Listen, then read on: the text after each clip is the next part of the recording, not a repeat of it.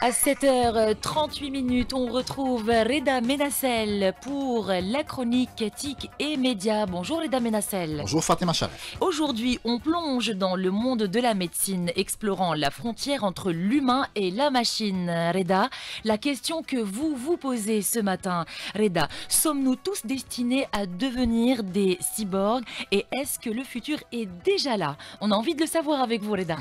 Alors bonjour à tous. Alors tous ceux de ma génération se souviennent forcément de la série mythique Fatima, L'homme qui valait 3 milliards, diffusée sur le MTV à l'époque, avec Steve Austin, un pilote d'essai, qui deviendra le premier homme bionique après un accident qui lui a presque coûté la vie.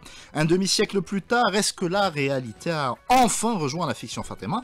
Eh bien presque, figurez-vous. La série de 1973, bien que spectaculaire, a parfois pris des libertés avec la réalité scientifique.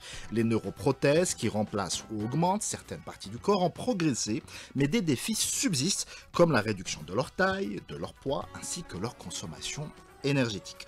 On se souvient aussi que Steve Austin accomplissait des exploits surhumains dans la série, il courait super vite, sautait bien bien haut et faisait montre d'une force herculéenne difficilement réplicable aujourd'hui.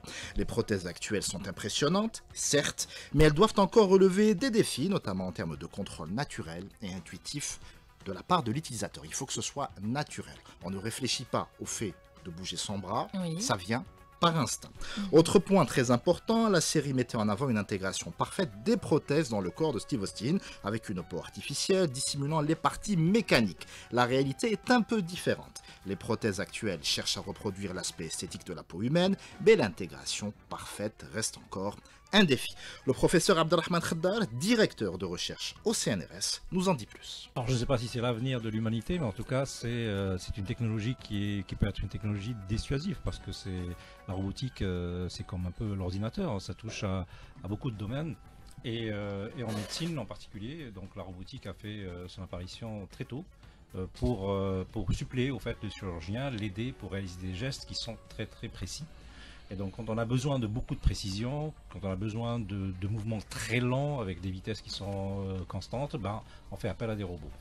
Après, il y a la bionique qui est apparue euh, un petit peu au même moment, qui consiste au fait à, essayer de réfléchir à ce que l'on peut utiliser des robots euh, comme pièces détachées. euh. Ces, technologies commencent à commencer à faire des, machines qui bougent. On sait aussi les, façonner de façon à ce qu'ils ressemblent à nos membres.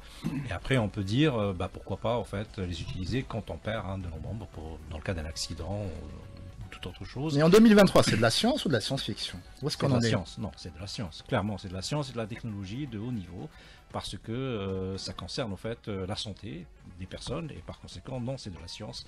Alors c'est de la science technologique, bien sûr, c'est pas des sciences fondamentales comme les mathématiques, la physique, euh, etc. Mais ça reste quand même euh, de la science. Alors déjà, il y en a eu en France euh, avec l'entreprise Karma, donc qui a fait euh, le premier cœur artificiel et donc qui a été implanté. Il n'a pas tenu longtemps. Les réactions de rejet. euh, les réactions de rejet, il y a aussi l'interfaçage, juste comment connecter euh, de l'électronique, si vous voulez, avec de la, de- de- des impulsions dans le nerf. Donc c'est des, des sujets, des enjeux vraiment très très difficiles du point de vue technologique et un petit peu scientifique. Et par conséquent, euh, enfin, je ne mettrai pas ma main à couper pour que ce soit réalisable en 2028, mais les gens travaillent très dur à, ce projet.